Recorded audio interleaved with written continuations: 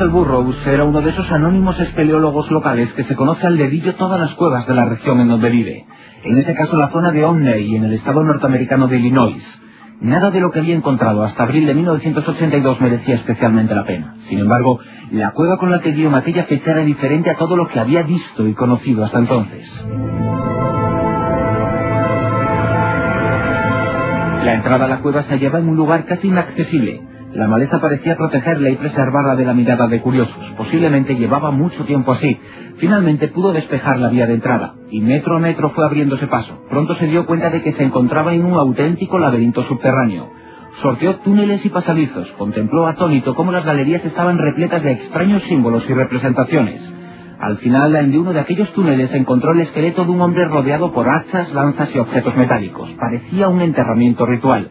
Quizá llevaba siglos allí, quizá milenios.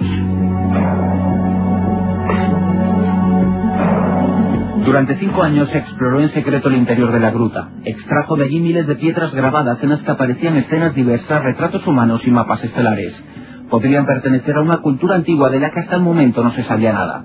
También encontró toneladas de planchas de oro con extraños grabados en alto relieve. Tenían un gran valor, un gran valor informativo e histórico, mucho más allá del puramente material.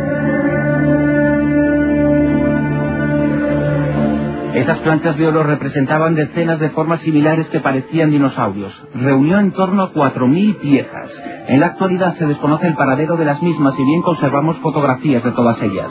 Y es que Burros pasó a un segundo plano y se vio envuelto en una turbia trama de expolio y contrabando. Sin embargo, antes de que desaparecieran, sabe Dios en el seno de qué colecciones privadas hubo estudiosos que las pudieron investigar.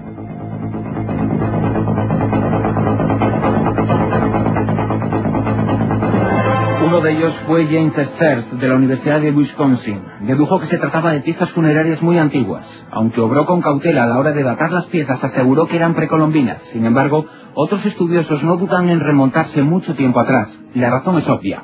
Los animales que aparecen representados en las láminas son dinosaurios, en lo que quería decir que quienes los representaron sabían de su existencia. Y que se sepa sobre los reyes del Jurásico solo supimos todos los detalles durante el siglo XX. Las piezas, en cambio, eran de mucho tiempo atrás.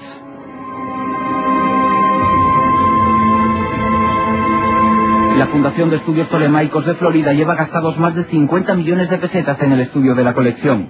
Sus miembros acusan a Burroughs de haber querido enriquecerse con su hallazgo. Están convencidos que de recuperarse parte de la colección, la historia conocida de América podría dar un vuelco de 360 grados porque amén de los imposibles grabados que representan dinosaurios en las plantas hay otros dibujos no menos sospechosos y sorprendentes.